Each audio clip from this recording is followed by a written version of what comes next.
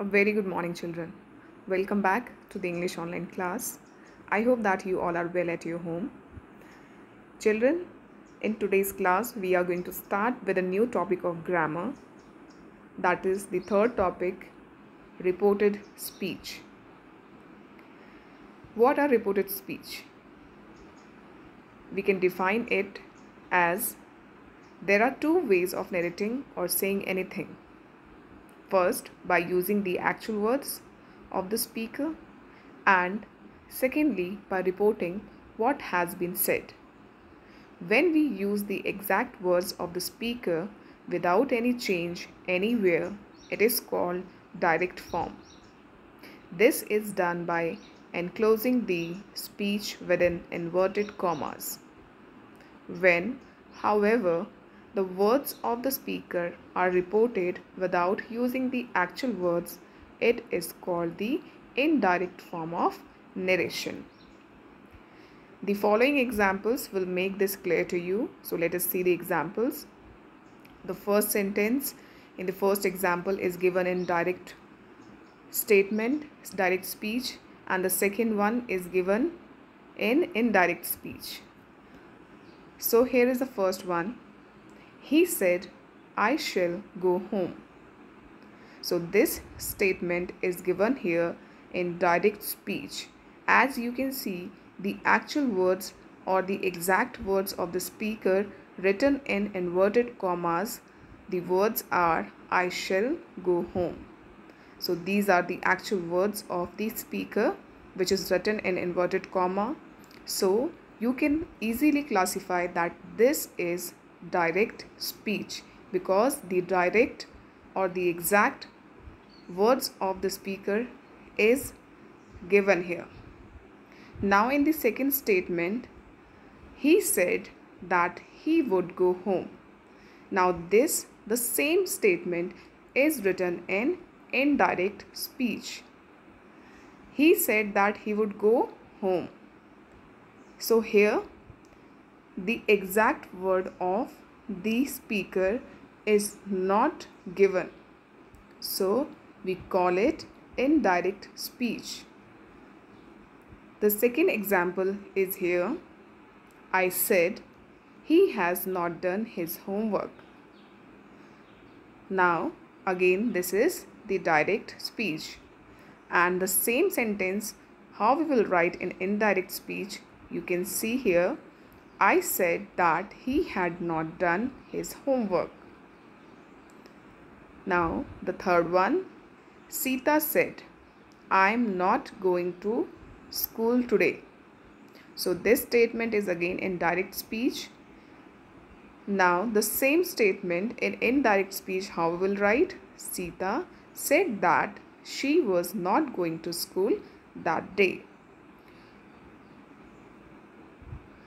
In the direct form, the actual words of the speaker has been enclosed with inverted commas and quotation begins with a capital letter as you have seen in the example here.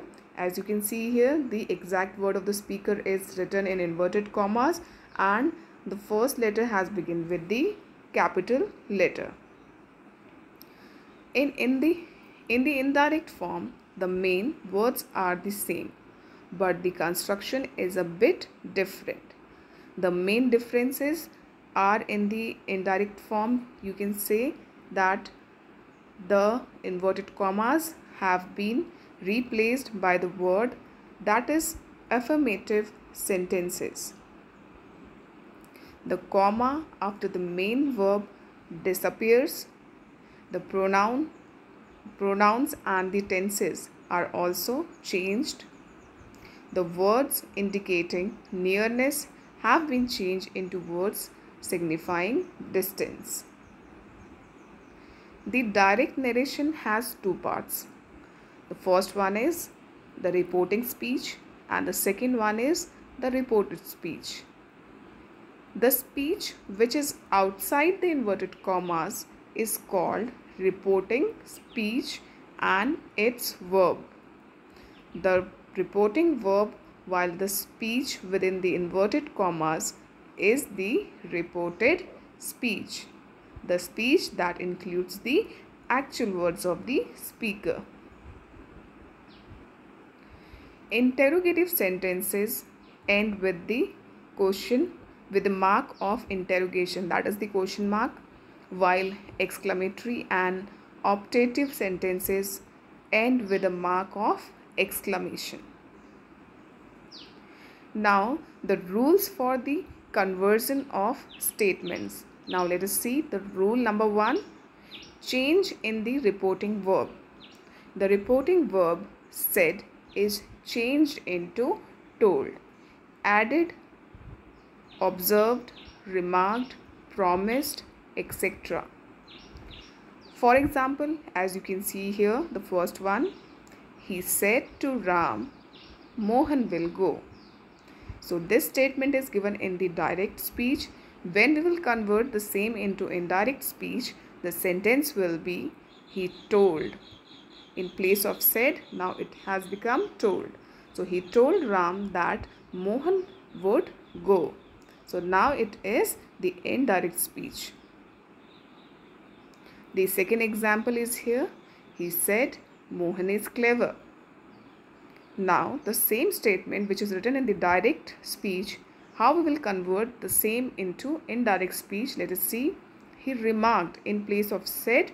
Now we have used here remarked that Mohan was clever. Now the third one, Shruti said, Brother, I'm ready. I'm already late. So now this statement is in the direct speech. Now let us change into the indirect speech.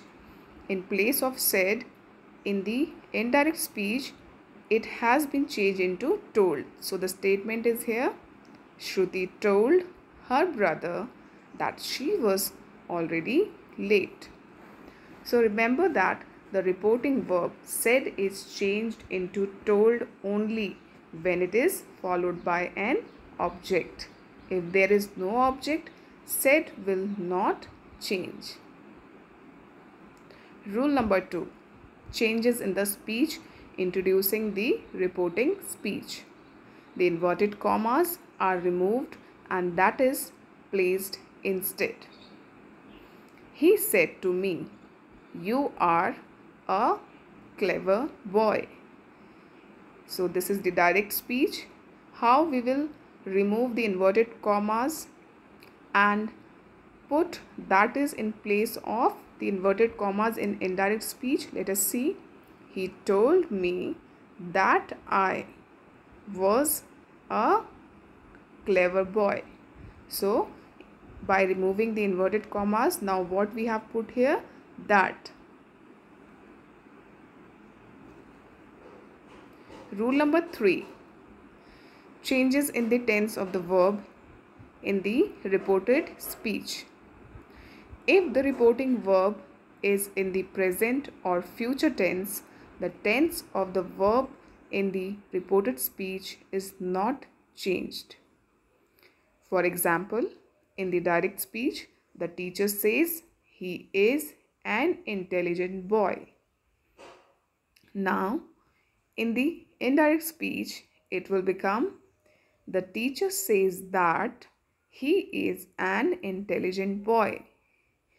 So here uh, you have you can see that says has not changed. If the reporting verb is in the past tense, the tense of the verb in the reported speech is changed into the corresponding past tense. That is, you can see the example here given in the columns. What are the words that we use in direct speech and the words when we write in the indirect, uh, indirect speech, how it changes. Let us see. The first one is the words in indirect speech that is is mr changes as was and were in indirect speech has and have changes to had was and were changes to had been the auxiliary verb will changes to would, shall to should, can, could, and may into might. The exception to rule number third B if the reported speech expresses some universal truth or habitual fact or some characteristics, the tense of the verb is not changed. Universal truth. Our teacher said man is mortal. So the same sentence, if we will write an indirect sentence, it will be our teacher said that man is mortal. The second one is habit. He said to me, I walk daily in the morning. Now the same speech we will write in the indirect speech. It will be he told that he walks daily in the morning. Now the next, the third one is characteristics. He said gold is one of the most useful metals. The statement that is written in the direct speech, if we will change the same in indirect speech, it will be he said that gold is one of the most useful metals. Rule number 4. Change in the personal pronouns in the reported speech. Pronouns of the first person in the reported speech of the direct form are changed in the indirect terms to the person of the subject of the reporting verb. He said, I'm not guilty. The same we will write in indirect sentence. He said that he was not guilty. Pronoun of the second person is reported in report in the reported speech of direct form are changed in the indirect form to the person of the object of the reporting verb. For example, he said to me, You are right. Now, if we will change the sentence into indirect speech, it will be, He told me that I was right. So, pronouns of the, of the third person in the reported speech remain unchanged in indirect speech. For example, I said to him, She is very clever. If you will write this sentence in indirect speech, it will be, I told him that she was very clever. Rule number 5. The words in the reported speech expressing nearness are changed into words expressing distance. For example, the word that is written in the direct speech now is changed into then in indirect speech. The word here changes to there. Today, that day. Yesterday, the previous day. Tomorrow, the next day. Last night, the previous night. This, that. These, those. Ago, before. Tonight, that night. Thus, so next day or next week the following day or following the following week. Rule number 6 rules for the conversion of interrogative sentences. In interrogative sentences the first rule is the reporting verb said is changed into asked or inquired of. For example he said to me will you go. Now, if you will change this into indirect speech, the sentence, this interrogative sentence will be, he asked me whether if I would go, whether or if I would go. Or he inquired. Instead of asked, we can also use the word inquired and the, the interrogative sentence will be he inquired of me if or whether I would go. Rule number 2. Remove the comma and the inverted commas. In case of questions which are introduced by the finite verb or its auxiliaries is, am, are, was, were, do, does, did, can, may. will, shall, has, have, had, etc., in which the answer is in yes or no, introduce if or whether to join the principal clause with the subordinate one. He said to me, Have you done your homework? Now, the same sentence, if we will change into indirect speech, it will be He said me, he asked me if or whether I had done my homework.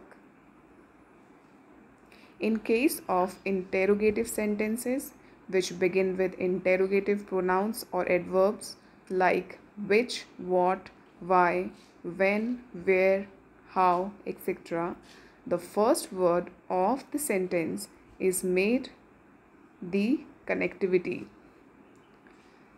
For example, he said to me, Why are you late today?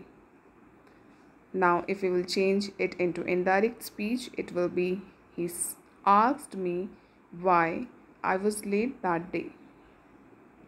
Remember, the mark of interrogation, that is the question mark, is never retained in the indirect form and the subject is brought before the verb as in assertive sentences. Rule number 7 is rules for the conversion of imperative sentences. In imperative sentences, the first rule is the reporting verb is changed into ordered, command, requested, advised, etc. For example, he said to me, Please don't keep me waiting so long.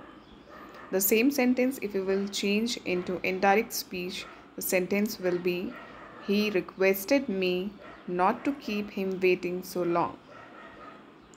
Rule number two the reported speech is changed into the infinitive mode by infinitive mode introducing to in place of inverted commas. For example, he said to me, Go out. If you will change it into indirect speech, it will be, He ordered me to go out. Rule number 8 Rules for the conversion of exclamatory and optative sentence. In exclamatory and optative sentences, the first rule is reporting verb said is changed into exclaimed in the case of exclamatory sentences and into wished or prayed in the case of optative sentences.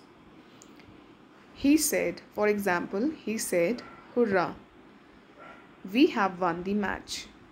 The same sentence, if we will write in indirect speech, it will be, He exclaimed with delight that they had won the match.